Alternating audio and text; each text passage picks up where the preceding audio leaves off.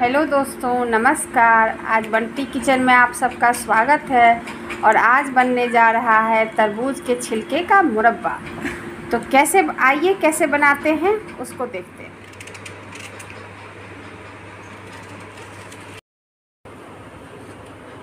यहाँ पे इसको गोदा जा रहा है।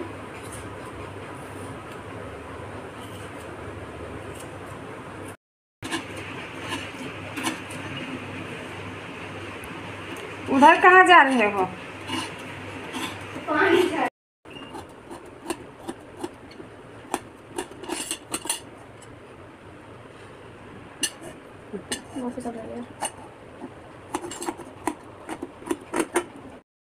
इस तरीके से सबको फोक की मदद से गोद लीजिए। देखिए इस तरीके से।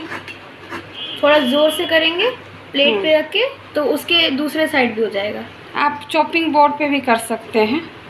इस तरीके से इसमें छेद बना दे देखिए दोनों तरफ़। और इस तरीके से मैंने देखिए सारा ये कर लिया है। आप देख सकते हैं। दो आदमी की मदद से हम्म। हाथ पे करेंगे तो थोड़ा सावधानी से क्योंकि आर पार गया तो हाँ हाथ को आपका हाथ नुकसान हो सकता है। तो हाथ पे ना ही करें। कोई चीज़ पे रख के करें।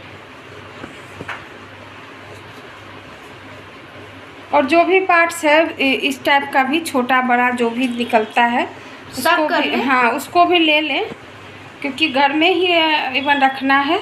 सब खा जाएँगे हाँ तो वो सही है। देखिए इस तरीके से सबको मैंने कर लिया है। यहीं पे मैं एक लीटर पानी लिया है। देखिए इस बॉटल से एक लीटर वाले कोई भी बॉटल से एक लीटर पानी आप ले सकते हैं। तो अब इसमें जाएगा। सारा पानी उबल गया है और इसी में मैं ये डाल दूँगी तरबूज के छिलके जो मैंने ऐसे प्रिक करके रखा है। इस तरीके से आप प्रिक कर लें। जो भी आपके पास है कांट फोक, कांटा, जो भी हो, उससे आप कर सकते हैं। और इसको अब मुझे पंद्रह से बीस मिनट उबालना है। जब तक ये थोड़े सॉफ्ट ना हो जाए, तब तक मैं इसका चाशनी बना लूँगी। ये देखिए, हो गया। अब मैं इसको उबालूँगी। पहले पाँच मिनट तेज़ आँच पे उबालूँगी और फिर धीमा कर दूँगी। जब पानी उबल जाएगा, तब मैं नॉर्मल क्योंकि पानी उबलने के बाद फिर आप किसी भी टेम्परेचर में उबाल सकते हैं। आप देख सकते हैं, पाँच मिनट मैंने तेज़ आँच पे उबाल लिया है। और दस मिनट में और इसको उबालूँगी। फिर मैं गैस का फ्लेम बंद कर हमारा ये आप देख सकते हैं, आपने स्टार्टिंग में जो देखा, और अभी देखिए। इसको मैं निकाल लूँगी।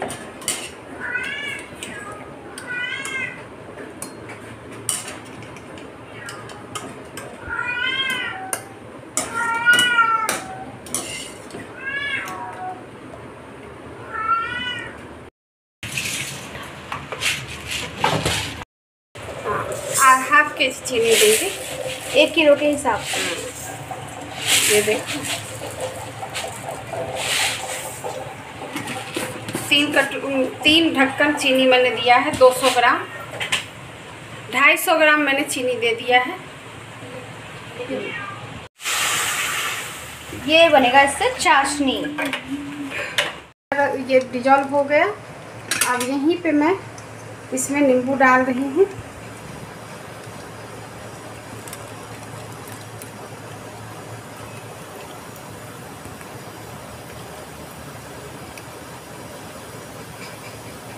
इससे हमारा चाशनी जमेगा नहीं।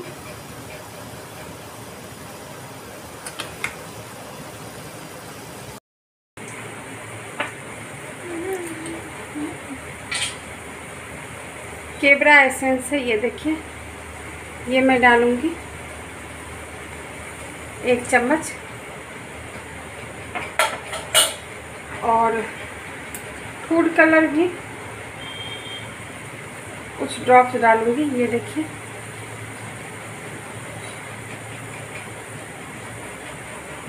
बस।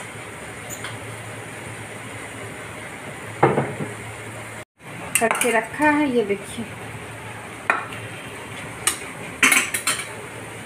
इसमें मैं डाल दूँगी।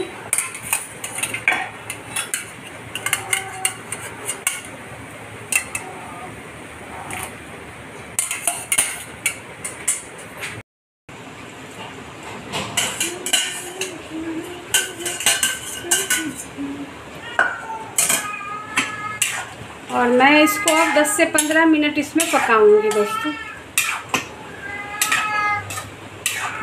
पकाना है जब तक एक तार का चाशनी ना हो जाए।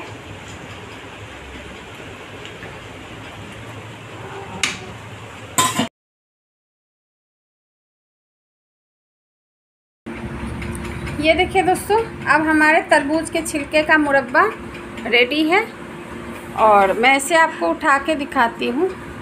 ये देखिए। देख रहे हैं? कितना जूसी है। हुँ?